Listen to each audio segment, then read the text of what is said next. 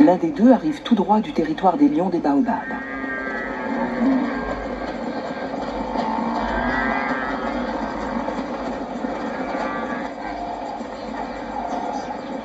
L'autre, le troupeau des Nja, vient de l'ouest.